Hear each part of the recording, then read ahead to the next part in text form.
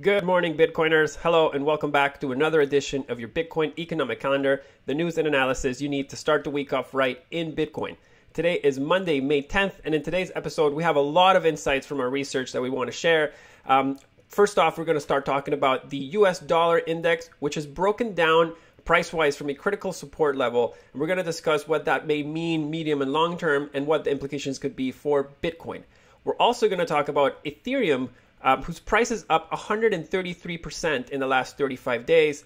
And last but certainly not least, we spent a lot of time talking about inflationary pressures in this episode or in this show. And today we're going to be spending some time to discuss deflationary pressures in the economy and how those may be playing out in the next year or two.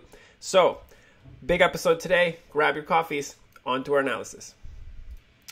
Starting as we usually do with Bitcoin, we see that last night's close on Sunday evening um, was a contested one, and it ended up closing the week at $58,305, up 2.97%.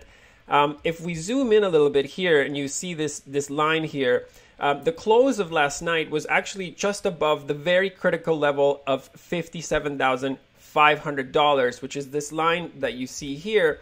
And interestingly, again, as we see from this line, um, Bitcoin has been in this range for almost 12 weeks now, just over 12 weeks now. So if we compare this consolidation stage with, or this price action with the price action from previous market cycles, and I'm going to pull that up behind your screen right now. Um, we see here that this accumulation period actually is a common uh, trend amongst Bitcoin bull market cycles. And um, if we look at the 2017 cycle, we see that this consolidation stage lasted 55 days. If we look at the 2013 cycle, we see that overall it lasted 197 days. And um, the consolidation around the 57,500 level, as you can see here, has now been going on for 84 days so far this cycle. Now, to talk about the potential headwinds for uh, yeah potential headwinds for Bitcoin, um, it could have been impacted by Biden's capital gains tax proposal. Now, why is this the case? As tax laws are not typically retroactive, so uh, essentially when a government passes a new tax law, it, it basically comes into effect for the next tax year. Very rarely does it come into effect for the current tax year. Um, for that reason, um, it's, it's um, it's likely that some investors may have jumped the gun to realize some of these uh, tax gains ahead of the potential change that may be coming in for next year. So, this type of dynamic um, would have impacted typically the best performing assets in the portfolio, so Bitcoin. And um, uh, Cathie Wood from ARK Invest also mentions that this same dynamic has hurt innovation strategies in general. Uh, again, because they've been performing so well leading up to that announcement. Um, we'll discuss that po- the possibility of this new tax framework actually coming into effect in our What's Ahead section later today. Now, as a potential tailwind for Bitcoin, as we discussed in the um, in the opening, let's take a look at the dollar index. So, as we see uh, from this line here, the dollar index has now essentially broken down a key uh, trend line and a key support in this key trend line. And it's starting to display like this this type action right now this this rising trend line and, and breaking further lower is actually something that it is um, it's typically displayed in the dollar index in these site uh, uh, in these um, really large down cycles. So, for example, what do we mean by this? Let's take a quick look here. Um, you see here, for example, in this uh, in this um, part of the cycle right here between 2017. So this was around September 2017. We see that when the dollar index actually breaks down from this sort of rising support in the middle of a downtrend, it typically leads to a to a, a significant or substantial further leg down. Um, the pattern that we're seeing in this uh, in the current formation, I guess the one that's been happening from December this year until now, again, seems to have some semblance to the one that was forming between August and December 2017. So there is a possibility that this that the index continues uh, to seek lower and lower price levels, potentially bringing it down to that 88 uh, number, which is a key another key support level. But essentially, this uh, could be a tailwind for Bitcoin because, as we've covered here, dollar weakness tends to be a positive uh, uh, a positive uh, driver for prices of Bitcoin and equities in general. The other thing to consider is that with unemployment and inflation rates in the US still very far away from the Fed's targets, it's looking increasingly likely that the dollar will continue to move lower. Again, this is typically a positive catalyst for Bitcoin. Now, um, let's take a quick peek uh, at the signs of institutional activity in Bitcoin because those are continuing to mount. And uh, as an example, what we wanted to show here was the difference between the Bitcoin futures annual annualized rolling three months basis. And what we are going to draw your attention to here is the difference between the CME and other platforms. So actually, let's pop the CME and Binance. This is the CME versus Binance. So as we see from from this chart here, we can see that the difference between the uh, basis in the CME and Binance used to be around 10%, it actually quite often under 10%. What we're starting to see as of recently is that that gap is now shooting up to about 20%. Uh, if we look at here, you know, 25% on the Binance on Binance or 27% on Binance and 7% at the CME. Uh, and another very interesting thing to note is that for a brief period here, we are starting to see that the uh, basis the basis implied on the CME premium is actually sub five percent. What does this mean? It means that institutions are coming in and participating in the CME futures market, not so much in the other futures markets or the unregulated venues. Um, what this is another sign of is that the institutions are essentially in Bitcoin markets but they're in Bitcoin markets to take advantage of dislocations in these types of future versus spot. Uh, they're not necessarily just long Bitcoin. They are in to arb out all the inefficiencies that they see in the market. Uh, so again, another very interesting trend to keep our eyes on. Moving over to the S&P 500, we see that last week the S&P 500 closed at a fresh new all-time high of 4,234 points, up 1.07% for the week. Now, interestingly, in the equity markets, we're seeing that the sector rotation from technology into industrials is in full swing. And that's evidenced by not just the S&P having a great week, but let's take a look at the Dow Jones. The Dow Jones is just soaring right now. Last week it had a pretty significant breakout again to a new all-time high of up 2.67% for the week. And during the same week, we see the NASDAQ again down 1.02% for the week, uh, closing at 13,719 points. So, industrials higher, technology lower. Uh, further evidence of this shift at play is what is happening with copper and lumber prices. So, if we um, take a look at the headline behind right now, uh, it, it, you know headlines like this are abound, abound in the media, which says bets on economic rebound push copper prices to record highs. Uh, that's copper breaking out of a 24 year high. And if we look at lumber for a second, lumber prices are just uh, skyrocketing. Um, they have actually almost tripled uh, lumber prices have almost tripled since their pre-pandemic levels. Uh, so again, you know, if if we look at pre-pandemic levels, we were sub uh, four hundred dollars, around four hundred dollars. Now lumber is at seventeen hundred dollars, which uh, is quite impressive. And again, continues signs of industrial activity um, that that are in the economy. Coppers, copper and lumber are both uh, great sort of uh, indicators of construction activity and industrial activity in general.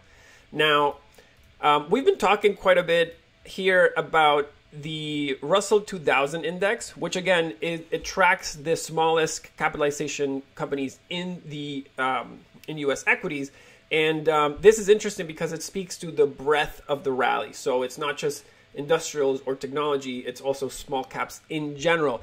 And uh, as we've mentioned, Tom Lee, the analyst at Fundstrat, is looking for breakout out of the 2293 level, which we haven't been able to crystallize in this. Now we see that the the um, weekly candles continue to be within this compression and accumulation uh, range that we defined, uh, I think, two weeks ago.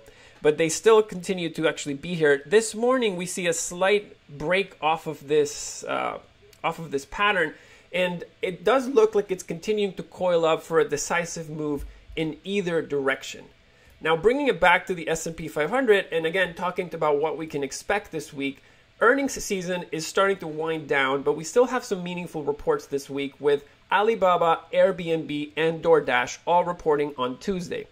There are also Federal Reserve governor speeches on Tuesday at 9 a.m. and on Thursday at 1 p.m. So, again, keep those in mind as they tend to move the markets uh, if anything uh, if, if anything of relevance is said uh, again everyone's paying a lot of attention to the fed right now Moving over to gold, although we haven't had anything exciting to share on this side um, for quite some time, we're starting to see some signs of life in gold on the back of that breakdown in the dollar index. So last week, as you can see here, gold had its biggest weekly gain of 2021, closing the week up 3.53% at $1,831 per ounce. Uh, the weekly close is also very significant from a technical point of view. So as you can see from the chart behind your screen, that weekly close actually breaks away from the downtrend or that down channel that gold has had from essentially August 2020, the beginning of August 2020. Now, um, when these types of very long-term directional channels break, they typically continue to run on momentum we're, we're starting to see some signs of that potential continuation in this morning's price action. Um, this could also mean, as we've covered here, that um, as we know, gold is inversely correlated to the real returns of US treasuries. So that would also be consistent with treasury interest rates being flat for almost two months now. Let's take a look at the yield on the ten, uh, at the yield on the 10-year note. Again, flat to down. And um, as these rates, uh, interest rates on these bonds continue to flatline or go lower, and inflation indicators everywhere continue to run higher, uh, again, this is consistent with that idea of real returns coming down and gold potentially going up. Uh, and this trend may continue in the near term, so something to keep paying attention to. Moving over to our DeFi commentary, we see that it's been all green for DeFi and Ethereum lately, both saw fresh new all time highs last week. Uh, the DeFi index closed higher by 4.39% at 15,351 points. Ethereum, on its hand, uh, was up 33.07%, closing the week at $3,928. So, uh, if we look at Ethereum prices over the last six weeks, and uh, we just run a quick bar here just to measure, uh, this is a little bit higher already from yesterday. Uh, but we see here that over the last 35 days, really, Ethereum is up 133%. Uh, that's quite impressive. And um, elsewhere in DeFi and Ethereum land, we see reports now that DeFi is a $100 billion sector. Um, our view is that this type of price action could still be a tailwind effect on that European Union bond offering on the Ethereum blockchain that we saw last week, as well as the growth in DeFi. Um, this trend, uh, as evidenced by the price action, seems to be picking up steam rather than slowing down. Um, lastly, in altcoin land, we had an interesting event uh, with Dogecoin and, and Elon Musk essentially hosting SNL last week, and lots of expectations that he would be talking about Dogecoin. Um, somewhat to be expected, we see that Dogecoin started selling off after Elon Musk's performance and was down uh, 25% actually the day after the show. It does seem to have been quickly recovering, but again, that recovery has faded very quickly. Um, we believe that this type of price action is driven by the quick emergence of derivative markets around Dogecoin and the ability to short Dogecoin, which again many people would likely doing uh, looking to do. Um, with so many people heavily short uh, and the price being so volatile, it is likely that we'll, we'll see a lot of these knee-jerk price moves as the hype unwinds. So be very careful out there. Moving over to our Bitcoin mining difficulty commentary, we see that the next difficulty adjustment is scheduled to kick in on Wednesday, and it's currently projected to bring difficulty back up around 12% to about 23.13 terahashes. Now, we see that the mempool congestion in the back of your screen has come down dramatically, and so have transaction costs. Transaction fees have now are now down to about 70 sats per vbyte as of last night.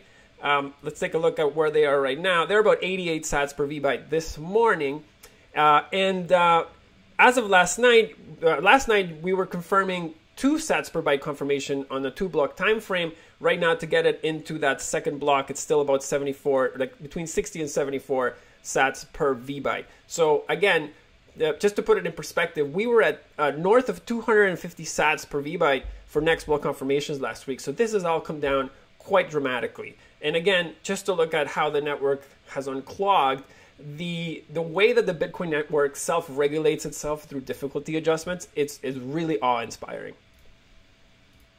Now, as always, we leave you with what's ahead for the week. Last Friday, we got less than stellar employment updates out of the US, with April April numbers being way below analysts' expectations, as you can see in the article behind you. Analysts were expecting an increase of over 1 million new jobs in the non farm payroll numbers, and the results came in at just a pickup of 266,000. Uh, that's about 25% of what was expected. And April was also the month during which the last stimulus checks were announced and deployed. At a high level, this could be interpreted as people who are being paid not to work, not working. Um, what else does this mean? This also means that the Fed can't lift the foot off the pedal just yet. And hence, we saw all markets rally on Friday after that jobs number came out. Biden's plans to pay for his infrastructure stimulus package, uh, his, he actually plans to pay for this stimulus package through a series of higher taxes. The biggest headwind for markets is the proposed increase in the capital gains taxes from 22.8% to 41%. There are also proposed increases to the tax income, the highest tax income bracket, and bringing that up to 41%. And lastly, there's a proposal to bring up the corporate rate from 21% to 28%. Uh, again, Kathy, or Cathie Wood from ARK Invest believes that the capital gain taxes have a low probability of passing, given that the Democratic Party has a razor thin majority at the House of Representatives, and the midterm elections are in November 2nd, 2021. So those are very close. It's very unlikely that there's going to be a big push to, to really shift uh, tax uh, structures materially ahead of this election. So we tend to agree with that view. Now, um, as we said at the at the beginning of the episode, we spent a lot of time talking about inflationary pressures, but today we wanted to spend a minute to talk about the D word, deflation. Um, there are quite a few deflationary pressures that can play out in the economy. And as an example, we wanted to show you uh, the following graph. So, as you can see from the from the graph behind you, uh, there the, what, what, we're trying to illustrate with this is, is what's called in, uh, innovation-driven deflation. So, innovation-driven deflation occurs when production costs decrease due to productivity or technology gains.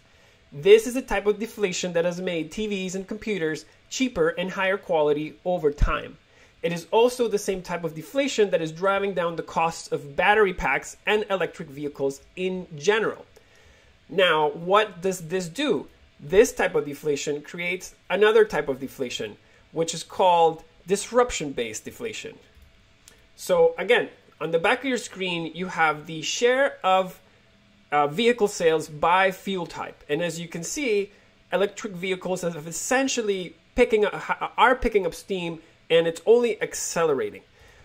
What that causes is disruption based deflationary pressures. So those are caused by the industries that are being disrupted. So this would be the uh, traditional fuel or combustion engine type of uh, competitors that are trying to compete against these electric vehicles that are getting increasingly cheaper. And uh, as an example, these companies that are selling these combustion engine vehicles will be forced to lower their prices to compete with these cost effective electric vehicles. That puts overall downward pressure on prices in general. Um, now, uh, let's bring it back uh, to not the graph. Right. So these these forces are always at play in the economy, and they push back against this inflationary by design fiat currency. Uh, Cathie Wood from ARK Invest also sees a potential third source of deflation in commodities next year, and this is excess inventory. This may actually kick in towards the end of this year as she fears that manufacturers today and suppliers are double or triple ordering now to meet strong demand forecasts. But she fears that these sort of demand forecasts or these suppliers and producers will be actually stuck with way too much inventory, uh, which will actually lead to, to more deflationary pressures in the future. So, uh, we've covered a lot today, and we have a big week coming up. Um, if you uh, have any comments or if you have any questions, anything you'd like us to add in the next issue, we welcome you to drop your comments in the section below, and uh, we'll be more than happy to answer your questions and try to incorporate uh, your your uh, requests into our next uh, issue.